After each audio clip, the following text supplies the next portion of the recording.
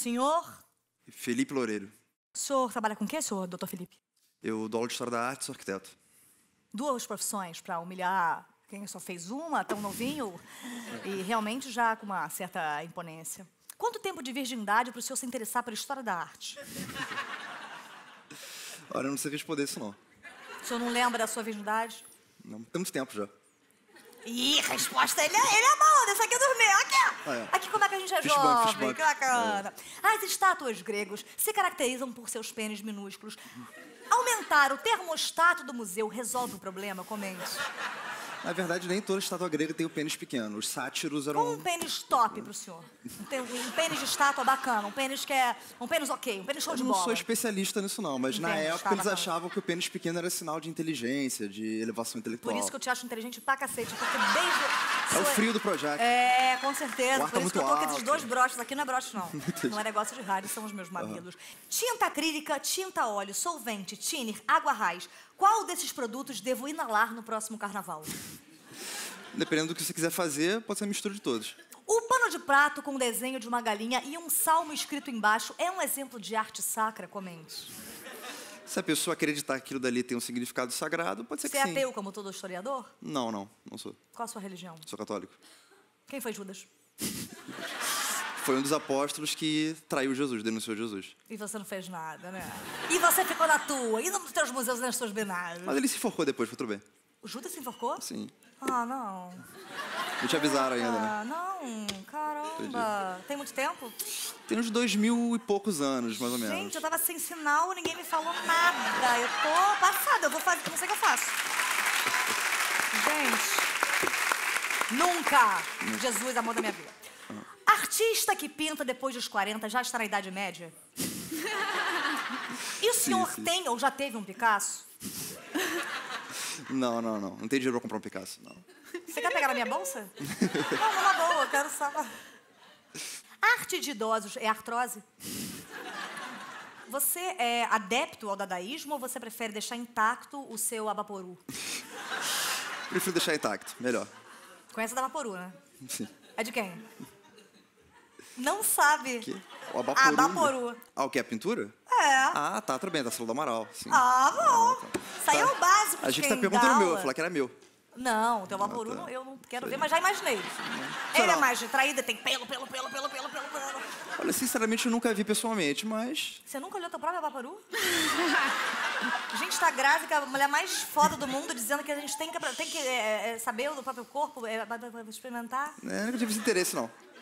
Eu tô com esse interesse, sabia? Você pinta daqui, Salvador dali, sacanagem, eu não vou fazer esse tipo de coisa. Uma vez eu quase me acidentei na estrada por causa de um motorista de Van Grog. Você paga pra escrever isso? Ah, é, é meu divertimento. É como eu passo aqui minha, minha vida. Eu sei que você pode criticar por você achar mais in- inteligente do que eu. Não. Mas eu fui criada numa infância super difícil. Era, às vezes era três, quatro tipos de queijo pra eu escolher e eu não sabia. Dois carros motorista, calma, eu sou uma só. Deixa eu Entendi. ver, mãe, com as minhas bolsas. Tela impressionista, como faço para monetizá-la? Como é que eu posso transformar um negócio de, de arte, por exemplo? Porque tem um negócio escroto que é. Agora eu tô falando sério que eu estudei, tenho três faculdades. Sim. E três expulsões dessas faculdades que eu fiz. Justo. Chega lá um cara, fala que privada é arte. Tem um aval de um cara, ah, arte contemporânea, moderna. E, e- e qual é, o, que é esse aval? Quem é o, o, o, o- Vou usar a palavra filho da puta? Mas que, que dá um aval de que aquilo ali é arte, por exemplo. É, até teve um experimento nos anos 60, um Eu lembro jornalista do- sueco fez um. ele fez uma exposição com obras pintadas por um chimpanzé. E teve crítico elogiando. Se alguém decidir que aquilo dali é bom, outras pessoas acreditarem, culpa do especialista. Apesar do meu interesse por sua obra, o Caravaggio do meu namorado anda meio murcho. De que maneira posso ajudar a ter um renascimento? Comente. Aí acho que é mais entre vocês, né? Tem que ver pra não virar Eu tô te natureza morta. pra participar, gata, jogada, louca. Michelangelo não terminou de pintar a Capela Sistina porque ele ficou tonto e deu teto preto? Comente. Na verdade, ele fez a pintura contra gosto, até ele não queria Eu pintar sei. aquilo porque ele não gostava, ele não gostava na verdade de pintura. Ele achava que ele era um escultor. Aham. Eu, é. é, eu tinha essa versão, mas assim, a foda é que quando ele vai me, ele me conta, ele conta outra parada. É, claro, outra versão, né? Ele fala, tipo, ah, não, não sei o quê. Eu falo, calma, brother, calma, conversa com o Papa, fala com ele. Aham. Aí vou eu ligar pra Papa, ah, não sei o quê, calma, Papa, caralho, de- entendeu? Aí eu vou.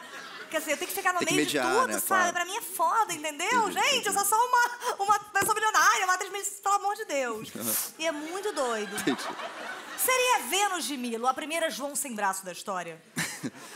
Provavelmente. Não precisa fingir que tá gostando quando não estiver, não. Vamos falar Não, aqui é real. Vamos ser, ser Ah. amigão. Tá, beleza. Tá arrependido de ter vindo? Não, não. Normal, né? Tranquilo. Um dia ruim, normal. Já perdi tempo com coisa pior. Cara, você magoou as pessoas, sabia? Lamaja nuda e Lamaja vestida são o primeiro caso registrado de um nude arrependido. Nude arrependido, faz sentido, sim. O Michelangelo também, na Capela Sistina, teve que cobrir É. depois algumas umas partes dos corpos que estavam à mostra e o Por Papa quê? não... Porque ficou um peru solto, todo mundo que entrava batia na testa da pessoa, a pessoa entrando na igreja, era... de Joguei lá e pedou os paninhos em É, cima, melhor. aquilo ali era muito, ficava um sino, né? E a gente ficava realmente louco. Qual é a melhor e maior obra de arte, em sua opinião? São os girassóis de Van Gogh ou a música Girassol do Cidade Negra? Eu prefiro Girassol de Van Gogh, Você gosta mesmo? sim. Não tem umas paradas que são meio ruins, todo mundo fala, muito bom, ah, é, muito bom, e na verdade a gente não acha. Você acha mesmo maneiro? Ah, eu, eu gosto, é realmente bem bonito, mas tem algumas coisas que são um pouco Quem é um cara que você fala, vezes. cara, não posso falar, eu não gosto. Eu acho Mona Lisa meio mal vestida. A Mona Lisa, até por acaso, sim, é uma obra muito interessante, mas ela tem muita fama porque ela ficou com o rei da França, né? Quando o Da Vinci morreu. ah, então não foi porque ela começou com o negócio da, da perspectiva. Não, não, não. É porque o rei da França usou aquela obra ficou meio pra bolado agora que eu mostrar. sabia essa era a perspectiva, não ficou não? não. Ah, não? Ah, tá. Não, você estudou, pô. É mesmo. Né, então.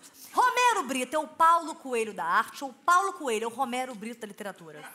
Ah, Os dois são best-sellers em cada um em sua área, faz E sentido. nem por isso, pelo amor de Deus, né, senhor? O senhor gosta daquele, daquele negócio do Romero Brito? Não, não. Acha o Pessoalmente, quê? não. Cá?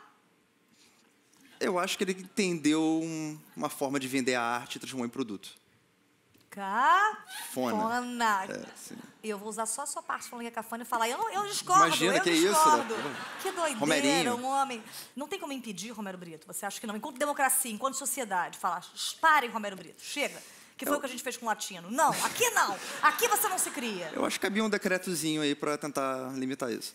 Meu namorado me chamou para ver sua obra, mas cheguei no banheiro e havia apenas um toletão no vaso. Fui vítima de uma fraude ou aplaudo o artista por educação? É, se o Duchamp botou um urinol, né, um mictório como obra de arte, de repente o vaso também era pra ele. Agora, uma última dúvida é: o maior representante da arte abstrata ainda é Djavan? Muito obrigada pela sua presença, Obrigado. foi maravilhoso.